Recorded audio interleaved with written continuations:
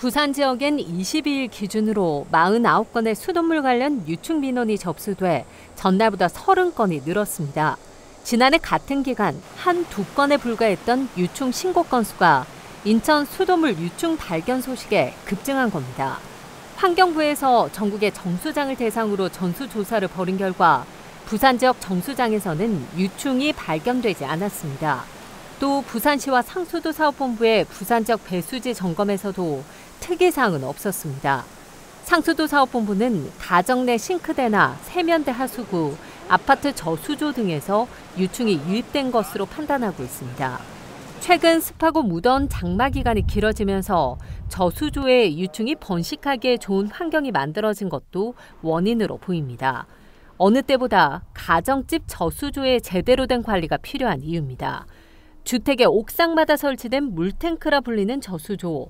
50세대 이상 아파트의 경우 1년에 두 번은 청소하도록 되어 있지만 23만 개의 부산 지역 개별 저수조는 관리가 쉽지 않습니다. 가정 물탱크 이 부분은 정말 취약하거든요. 그리고 가정에서 6개월 단위로 청소하고 또 이게 하는 부분 돈도 들고 이러기 때문에 안 하는 경우도 많고 그리고 또 의무화되어 있지도 않고 이러다 보니까 굉장히 취약합니다.